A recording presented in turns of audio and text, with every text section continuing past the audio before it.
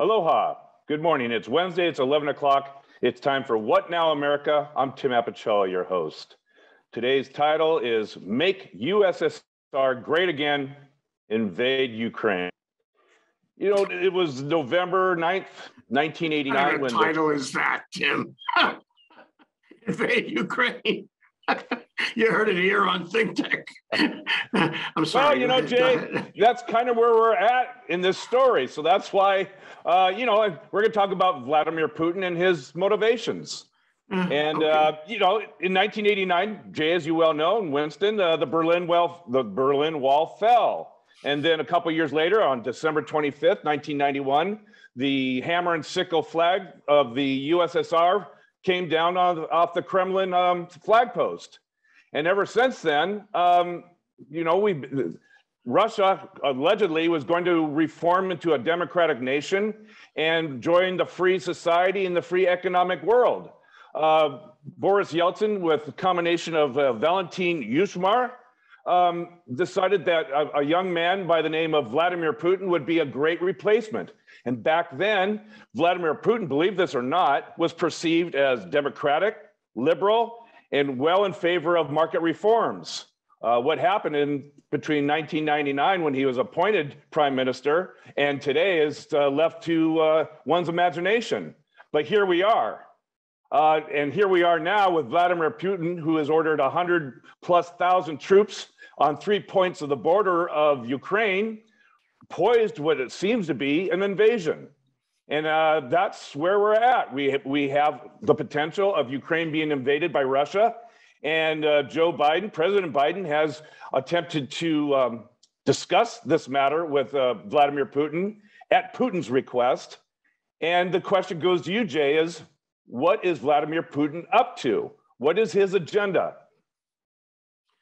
I'm taking Ukraine in a word. And it seems obvious. It's like Xi Jinping wants to have Taiwan for you know many geopolitical reasons. Let me interrupt. Is this a matter of uh, national sovereignty issues to make Russia great again and have satellite states? Maybe, maybe he wants to return to the good old days of the USSR. I mean, it's that seems if you connect the dots, that's where you go. Um, you know, he did that uh, in in the south, the south of Russia, and he's he's doing it here in, in the west of Russia.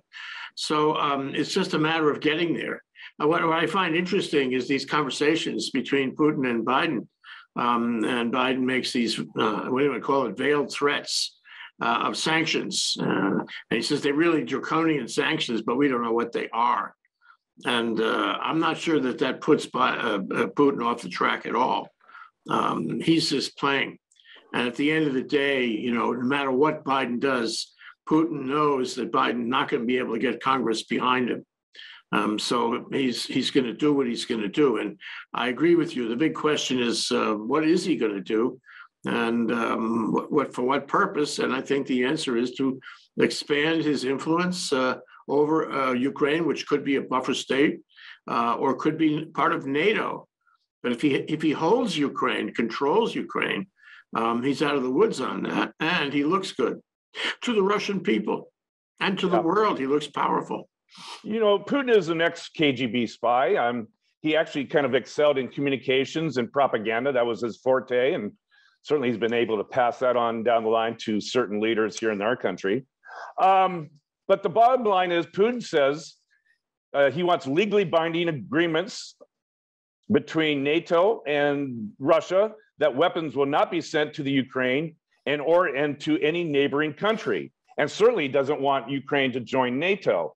He's compared this situation to the days of uh, you know the October crisis, missile crisis of 1962, when uh, Cuba had missiles, and um, you know President Kennedy said vehemently those missiles have to go. And he's comparing the two uh, as exact same situations. That how would the United States like it if if Cuba had missile uh, nuclear missiles back again? Uh, So how, how would is- Western is, that- is Europe that a like fair, it? is that a fair comparison on Putin's part? No, how would Western Europe like it if, if Putin puts uh, nuclear weapons in Ukraine? You know, it's the same thing in reverse, which he will do. Um, I mean, he's trying to get them to, to stand down on everything. Don't include them in NATO, don't give them weapons, and there's probably other parts of that deal too, that, that for geopolitical reasons, for you know, Putin's, um, you know, aggressive moves on Ukraine, it, it obviously, I mean, it gets him in the same direction, maybe the same place as if he if he took it over. You know, I mean, Putin is a KGB guy. You, you know, you can always get there indirectly what you couldn't do directly. So how do you how do you achieve the, the territorialization of Ukraine without actually firing a shot? I think that's what we may have here. So he has he has the soldiers on the border. Uh, he makes threats. He uses hacking to knock off the utilities. He's done that a few times.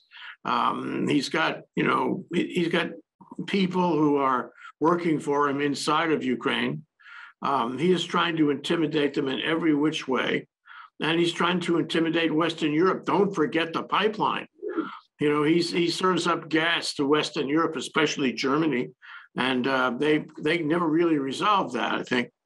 So, so I think I think you're right um, that uh, Putin is going to use this quote agreement, and Biden thinks everybody everything can be resolved by an agreement, even if it doesn't favor your party. Um, so this agreement uh, is is very crafty on the part of Putin, and I think he he is going to use it. He is using as as a way to control the situation without ever firing a shot. All right. Uh, Winston, I'm going to bring up a question uh, from one of a member of our audience, and we certainly appreciate all questions we get. And it kind of goes along track to what we were just talking about. And the question is, what are the comparisons drawable between Taiwan, the People's Republic of China, and Ukraine and Russia? Where America attempt to establish a substantial military presence in ta Taiwan, it would most certainly lead to war, hence our light touch. Is that the same reason we haven't integrated Ukraine into NATO? I think they're they're reasonably uh, yeah, similar comparisons, and you have to think about it. Uh, you know, we're thinking about it from our point of view, which makes sense uh, from defending, uh, you know, a, a, freer, a freer world. Uh, but, but, historically, you know, the, these these nations consider this their area of influence. So when the Soviet Union fell apart, now this was we have to think about this this um, conglomeration of nations. A lot of it had nothing to do with with each other except impose, imposing this uh, horrendous uh, politi- uh, political ideology of communism on people, which was you know, uh, disastrous. Uh, then it fell apart. And you can imagine, though, that there's a lot of people in Russia that uh, pine for those days when they held that suzerainty over uh, the entire uh, entirety of uh, then what became the Commonwealth of Independent States later. But they, they saw their power evaporate. Then they have a savior in a man like Putin, who I think is still pretty well regarded inside of the Soviet Union, whether it's propaganda or not. He is the strongman that uh, that seems to be um, you know desirable in that not just that country but increasingly around the world. We're seeing this strongmanism uh, really make a resurgence. As far as what's actually going to happen, it's uh, like the Wall Street Journal says uh, today that he's going to do what he perceives as in Russia's best interest. So that will continue with the bullying, the threats, the uh, uh you know incursions. Whether it's uh, I don't think it, it, will be military this time. Actually, I think it, he'll send in his uh, special forces and destabilizing things and the the cyber attacks and all the all the things that we're used to.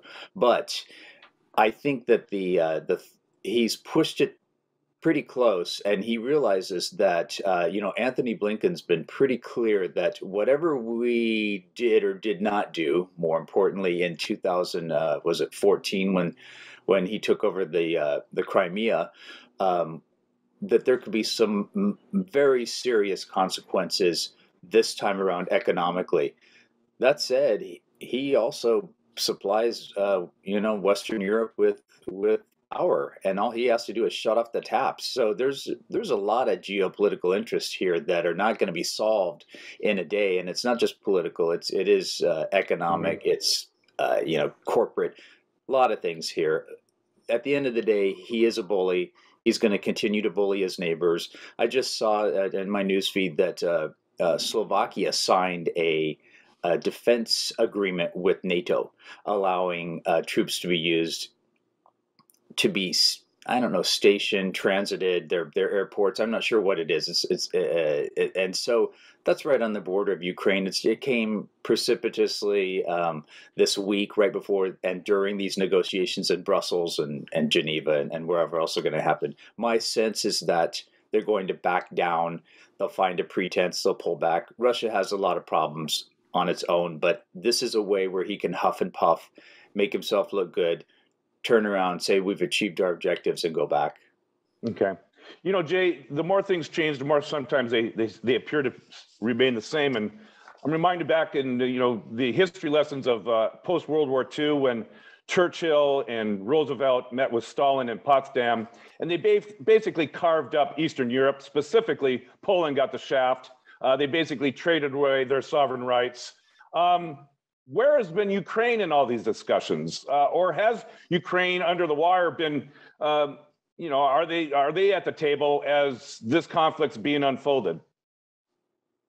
You know, it's a huge mistake um, to include to exclude somebody that should be included.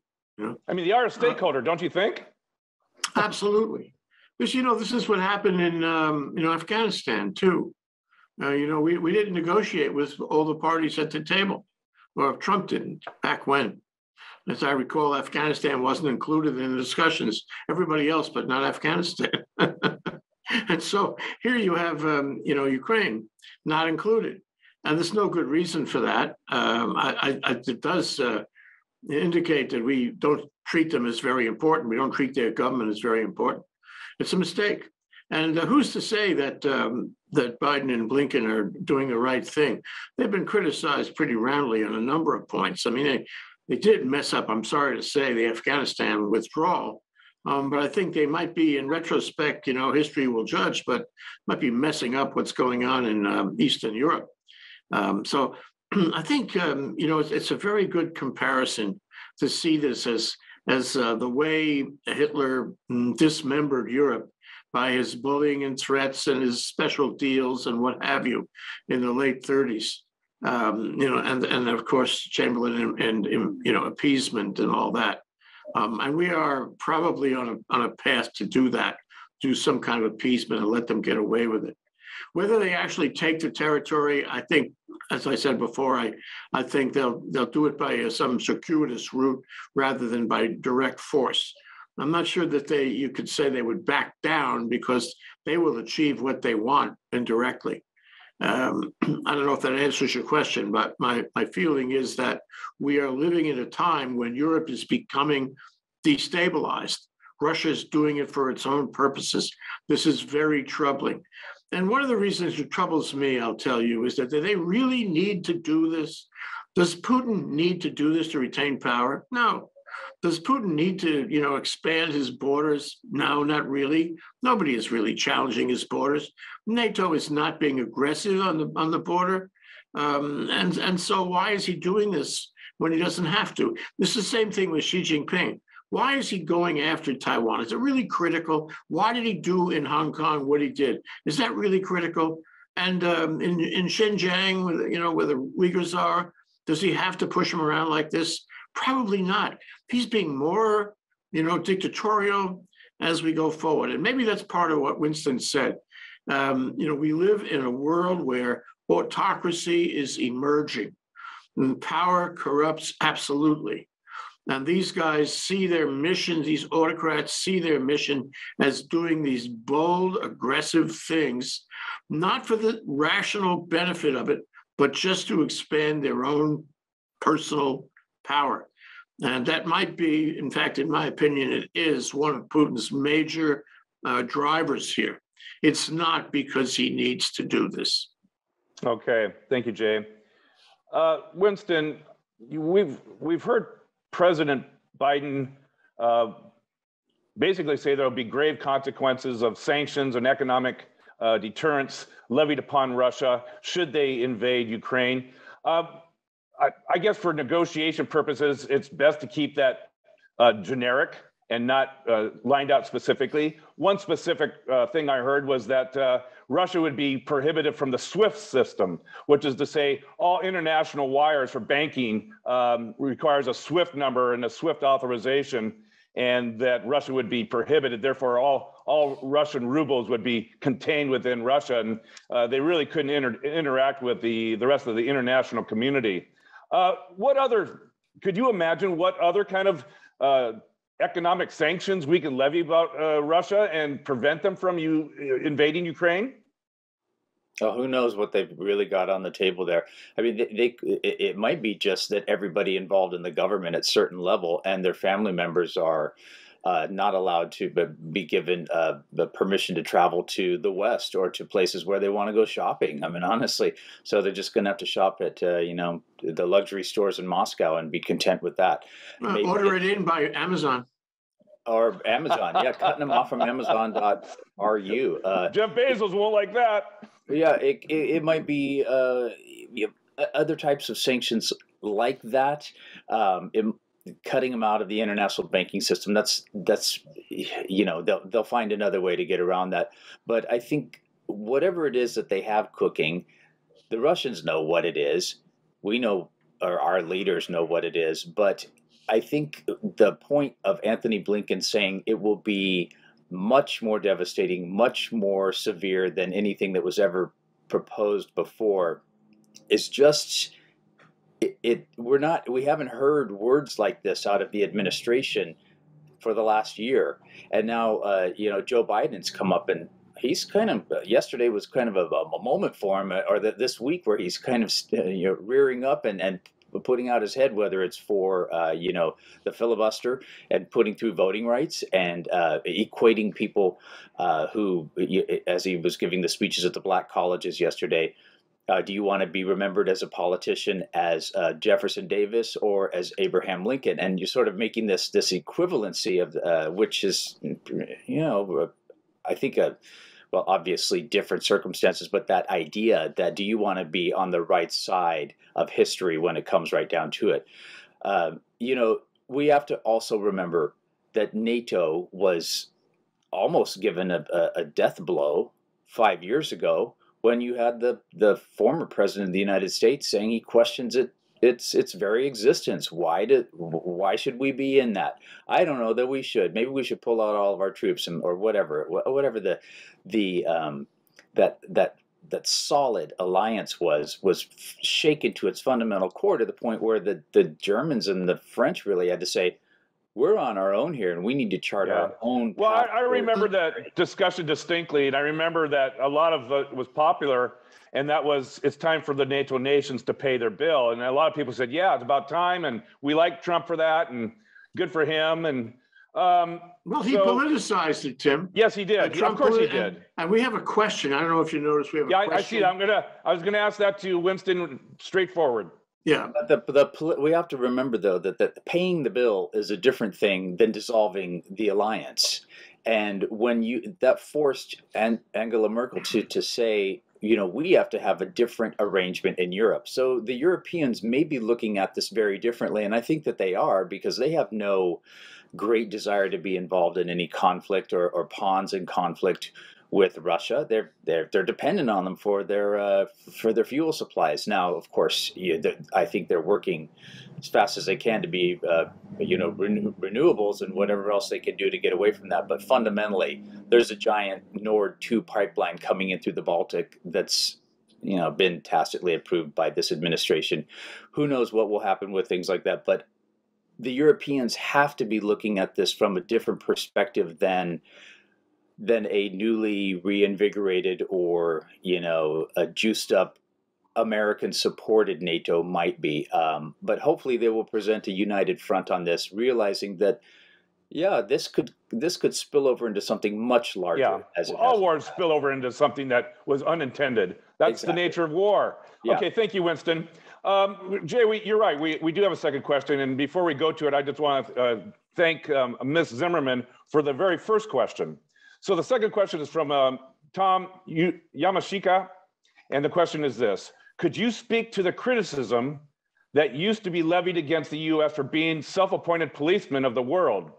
Is it worth it for the United States to expend troops, lose lives, etc., to police the Ukrainian and/or Chinese situations? Well, I mean, that raises the politicization I'm talking about. Um, you know, Trump not only uh, attacked uh, uh, the uh, NATO to East Western Europe on the basis that they haven't paid their bills. It was it was more than that. Um, he was he was telling his base, we don't want to support them. We, we don't want to you know be part of them. Uh, and, and, thus and thus uh, politicizing the whole issue. So there were a lot of people asking what Tom Yamachika is asking. Why should we do that? Why should we put America? Didn't we just get out of Afghanistan? Uh, haven't we sworn to avoid putting American boots on the ground, American lives, and spending all that money? We spent tons of money, trillions in Afghanistan. Why, why do we want to do that now? And, and this is a political feeling. If you went through the base right now, the base would say, no way. Okay. And the base and the, G, the GOP saying no way means that Congress, even if it, it might otherwise take action, I mean, I firmly believe Congress is not going to act on anything. Um, not until the elections are done and the GOP wins, then the GOP will do what it wants. Um, but but for now, I don't think you know he can. Biden can count on Congress for any of that. So it's a paper tiger. Yeah. You know, the answer to Tom Tom Yamachika's question is the, the American people, or at least the ones who control things, that is the GOP, they effectively control it by I call it a legislative veto. You think Joe Manchin's going to back up an adventure in Europe? No way. And that means nobody will. Uh, so my, my feeling is um, that when Biden goes and Tony Blinken, they, they say they're going to do draconian things to Russia. Huh, really? Really? When's the last time you did that? Um, and so I think they know, the Russians know, Putin knows that it's paper tiger talking. It will not happen. I think. The well, then, then what's this, what's to prevent him from going in? If if you really believe that Biden's talk is paper tiger talk, what what what disincentive does Putin have uh, to stay out of Ukraine versus going in? Optics, optics. What does Putin care about optics? What what, what optics? He well, he wants to be seen as a, a global leader. Uh, he wants to be respected, held in awe, but not necessarily in you know fear of war. Although we might have that fear, um, by Europe. Uh, he has a long plan that'll get him, as I said before, that'll get him to where he wants to go without firing a shot. Isn't that better? I mean, he's got to he's got to deal with people in Russia too who don't want to put boots on the ground.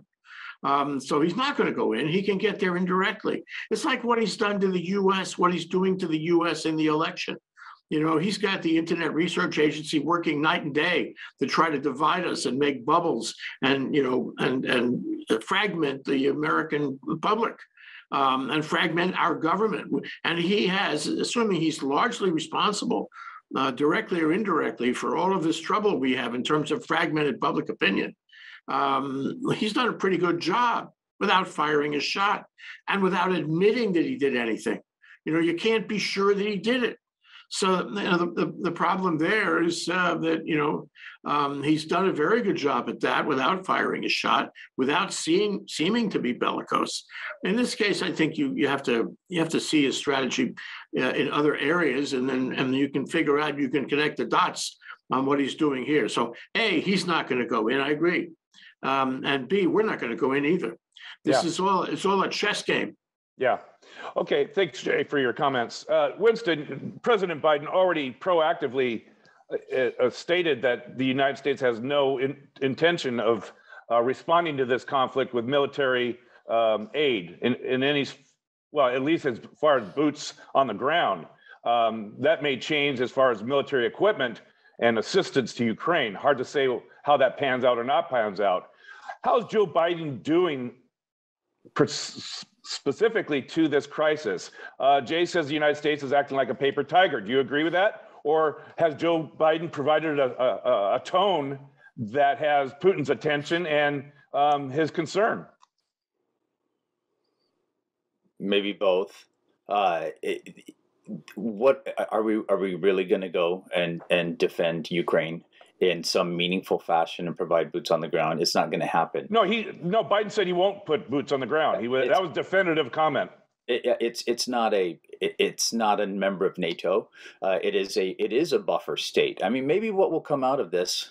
Let's be optimistically naive and say that Ukraine becomes some sort of uh, neutral state, like um, like Austria after the Allies pulled out of it after the war, and it be or or perhaps something like uh, Sweden or Finland, a, a, buffer in effect. So it says and and within this zone remember uh, there's always a, we pulled out of that that uh, nuclear forces um, intermediate nuclear forces. Those could always be reintroduced. There's those types of threats as well. At the end of the day you know Putin sells a lot of military equipment to third world uh, countries and second world, first world countries. I mean, the, the, the Turks are buying their equipment. So for them to stand up to the world's great power, the United States and, and its allies, and says, hey, we can do this, and they they back down. So why don't you buy some of our whatever military equipment that we're selling, he stands to win in this. He might face some sanctions temporarily, but he's going to go back home with a win he's let's face it, eh, you don't want to be living in Russia. Uh, the, the COVID is running rampant. They're, they're the life expectancy is shrinking uh, every single year. They've got a lot of issues at home. This is a good distraction for him. Uh, he's a bully, so he gets to satisfy that part of the ego. But at the end of the day, maybe we'll come out with something that results in, it, hopefully, a little bit more pulling back from the edge I, I, hope that's what happens. We'll know in a week or two uh, what will happen, but maybe it could be something where there's some face saving and you know the shenanigans are going to continue. Let's not be that naive. It's still going to be poking in at Estonia and Latvia and Lithuania and, and flying over NATO territories and uh, everything that they can do, destabilizing our own nation, our own elections, as Jay was saying. That's not going away. But if we can avoid something right now, um, I say more power to them. Yeah. You know, you use the term face saving, and that's an important term because whenever you get into a conflict that doesn't look like it'd be resolved, saving face seems to be paramount for for our leaders uh, of every nation, not just uh, Russia here. Um, but there was a 1990 conventional armed forces um, European agreement. And that agreement didn't just pertain to nuclear weapons, but certainly conventional arms. And uh, there's there's comments whether or not that could be dusted off and that treaty be uh, used as the basis to unwind this particular conflict, thereby allowing Putin to save face and all other parties to save face. Uh, you think that's a possibility? You know, remember he got kicked out of the G8 when he invaded uh, Crimea. Uh, he's still in power. He's still selling gas to the Europeans. Uh, the, the, it's not a lot has happened since then maybe the route with Russia, although Europe and Russia uh, uh, have always kind of wanted to treat each other as cousins at arm's length a little bit, but they, you know, let's face it, Victoria's kids married into the czar's family. They all had their blood disease. Uh, maybe, maybe this is a, a, a route where Putin says, you know what, my basic geopolitical interests for this nation long term lie in tying us firmly into Europe so that we don't have to face that threat on the western part of our border because our underbelly is completely exposed and who knows about the far east. So maybe in the long run he's playing a longer game here that uses this as a platform for um, for neutralizing that and becoming maybe a I don't know look down the road 10 years and say we're partners rather than adversaries or potential adversaries. Let's hope for that. I mean that would be the best outcome for him so that he can face all the other threats that he's got at home. All righty. Hey we're out of time. Uh, jay your final comments on this topic? Yeah what about climate change? You know the, the whole planet humanity is suffering under climate change and covid and, and here we are uh, screwing around on the border of ukraine um, it's the wrong direction, and and he's not being altruistic. The other thing I want to mention is I think it's there's a connection here between the paper tiger problem, uh, where you know we didn't get the, uh, the better, Build Back Better bill through, and uh, you know Biden has all but given up on that, and um, you know he's making he's stamping his feet about um, voting, uh, suggesting that we have to you know change the filibuster on that, but you know that's not going to happen either. And, and his inability to get his initiatives through in this country affect his clout overseas, right? If you're Putin, you are looking at how effective Biden is in the US, and you're seeing how powerful a president he is. And I'm afraid that he's losing these initiatives. He doesn't look too powerful. Um, at the same time, um, you know, uh, I think Putin knows how to play the game and look powerful, um, look strong, even if he isn't. So it's too bad we're in this place because because as uh, the Guns of August by um, uh, Barbara, mm, um, the Guns of August, great book back in the uh, back mm, 20 years ago, uh, evaluating the start of World War One. Um, it, it, was just like this. And, and, and, and if, if you looked uh, back at World War II, the things that happened in the 30s were a pretty good signal of what was, uh, what was going to happen. Um, and I think um, uh, mistakes are made, even if Putin does not intend to have war, and Biden certainly doesn't want war, and the base in this country don't want war, and the people in Western Europe don't want war, it could happen anyway by the way, it's Barbara Tuchman, The Guns of August. And it is haunting now because all these things are programmed for violence, for war, um, just as they were before World War One and Two. Great comments. Thank you, Jay. Winston, you get the last word and the last comment. Not going to happen, Jay. We're not going to war. I don't think it's going. The shenanigans will continue.